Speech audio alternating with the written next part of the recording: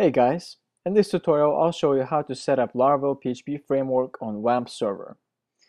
Before we start, you will need a working and running WAMP server, a web browser, and a couple minutes of time.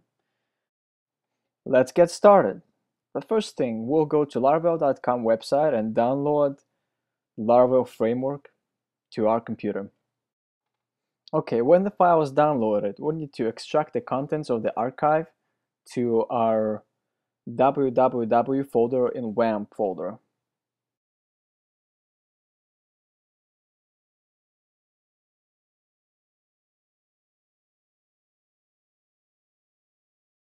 It's taken a while here on this computer.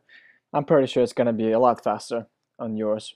Um, when it's done copying, we'll just rename the folder to the name of our application in this case it's um, I'm making a blog application so that's what I'm gonna name it. There you go. That's that's it.